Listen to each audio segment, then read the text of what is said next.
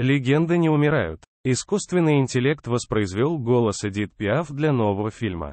Настоящие легенды могут оживать со временем и все это благодаря современным технологиям, ныне творящим настоящие чудеса.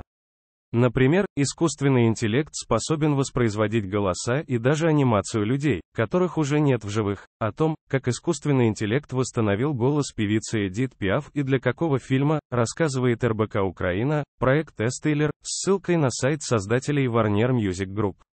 Эдит Пиаф оживет ради автобиографического фильма. Warner Music Group объявила, что начало сотрудничества с музеем Эдит Пиаф для создания автобиографического фильма «Эдит».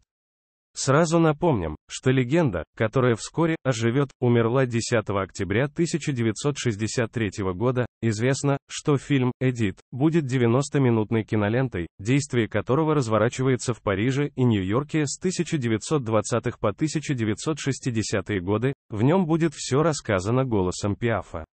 И главное, что фильм раскроет важные аспекты ее жизни, ранее неизвестные, демонстрируя ее несокрушимый дух, личные достижения и невероятные выступления. Анимация обеспечит современный взгляд на ее историю, в то время, как архивные кадры, сценические и телевизионные выступления, личные кадры и телеинтервью помогут расширить знания зрителей на важные и иногда болезненные моменты жизни певицы, благодаря самым современным технологиям, ее настоящие путешествия по жизни наконец-то можно рассказать сказать невероятным голосом звезды.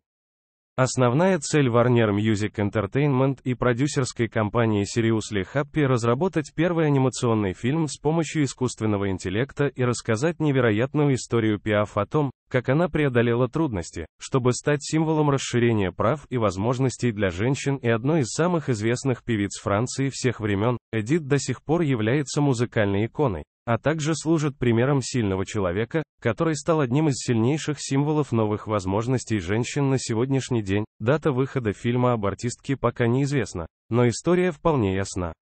И ценителям творчества Эдит Пиаф остается только ждать анонса и трейлера проекта. Раньше мы писали о том, что искусственный интеллект показал, как бы выглядели болезни, будь людьми.